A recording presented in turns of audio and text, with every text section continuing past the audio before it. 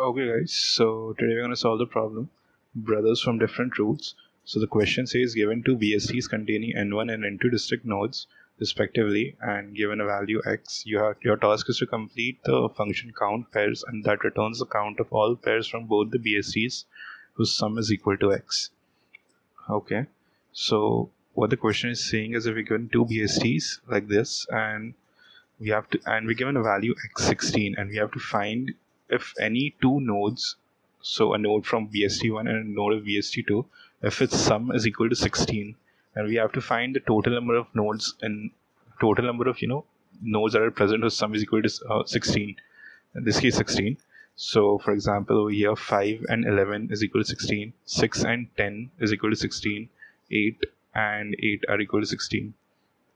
Okay, so uh, we can solve this problem in two uh, you know in two steps. So the first step is you know taking the n order of both the bsts on taking the n order traversal of them we get both of them in a sorted you know sorted manner. So we can store both of them in their individual arrays bst1 in array 1 and bst2 in array 2 and then we can use a two pointer approach.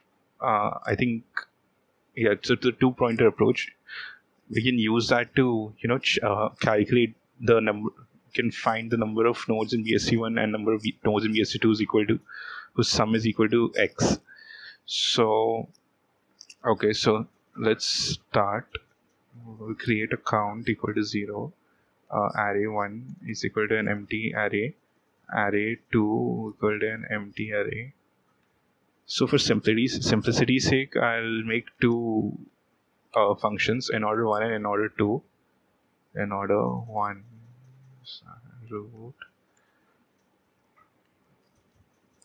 uh, yeah if not root return. So in order of root dot left. In order of root dot left then yeah root array one dot append root and in order of root dot right sorry in order root dot right and this is root dot data yeah. Okay. So we have to create another one like this for array. We create another one like this.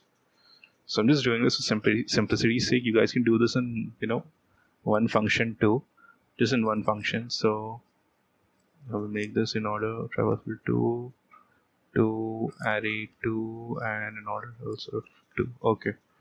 So when doing this now we can add this uh, in order of root 1 and in order of root 2 okay.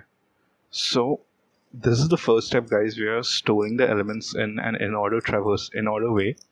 So what's happening over here is in first we're doing in order of root 1 so in bst1 the root 1 is 5 okay. So we'll go to the last you know the leftmost element of root 1 which is 2 okay.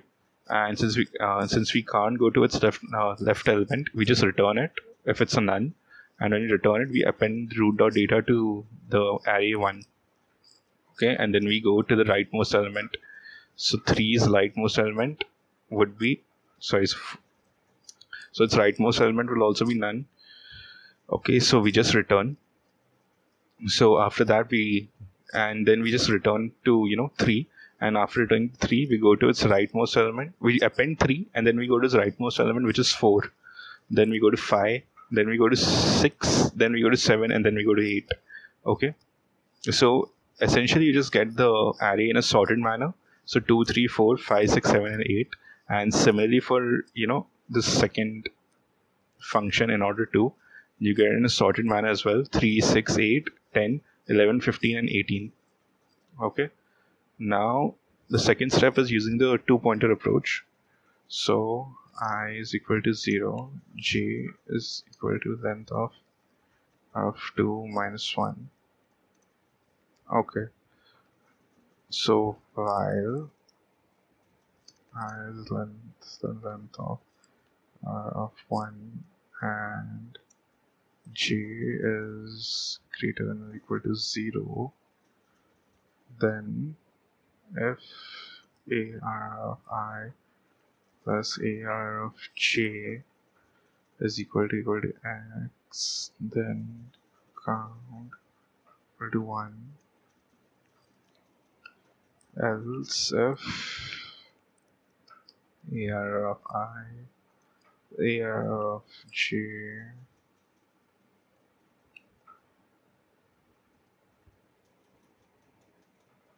yeah is less than x then what we do is an i plus 1 plus equal to 1 and else we just do a j minus 1 and yeah we just return count in here. Return sound. Okay on uh, let's just check it out first and then I'll explain the code.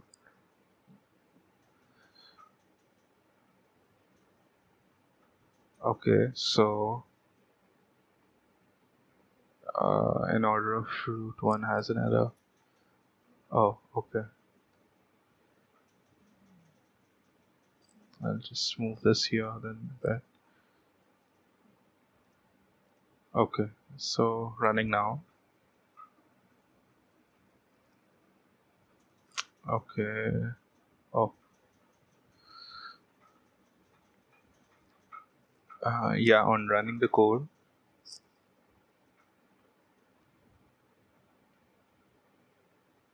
and submitting it okay it's submitted.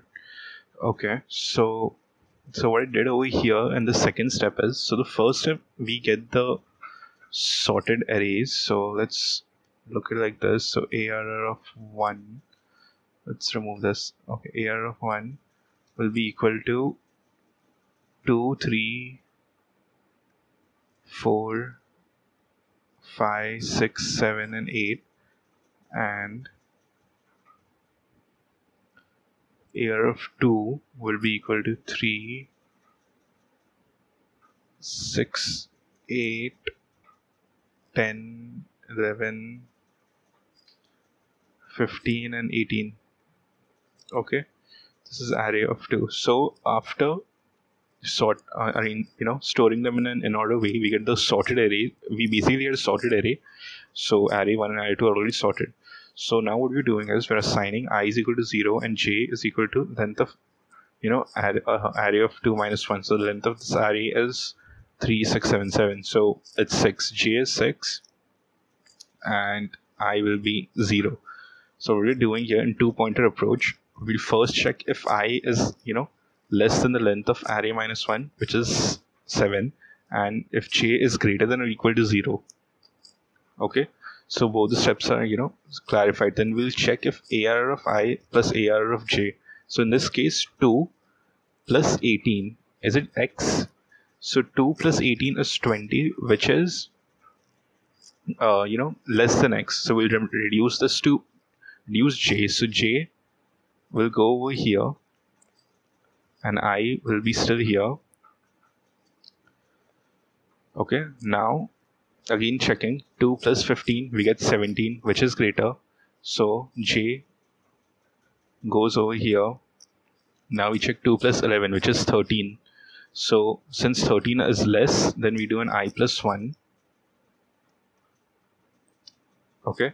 Now we check 13 and 11 which is 14 again we do an i plus 1 then we check 11 and 11 and 4 which is 15 which is again less so we do an i plus 1 then now 11 5 and 11 is 5 and 11 is 16 okay so after doing a 16 then we increment the counter by 1 and reduce j by 1 so if we reduce j by 1 we get 10 and 5 which is 15 so incrementing this so 6 and 10 is 16 we increment increment counter by 1 which is 2 now.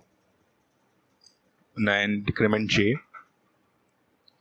so now 6 and 8 is 14. So we increment the i by 1. 7 and 8 is 15 which increment i by 1 and 8 and 8 is 16 and 8 and 8 is 16 we increment this to 3 and this goes over here. Uh, yeah this goes over here. Okay. And so if you see this guy is the so this i is in the last position so we you know get out of the loop and we return count as 3 okay? So yeah guys that's how you solve the problem. And if you like the video please do like share and subscribe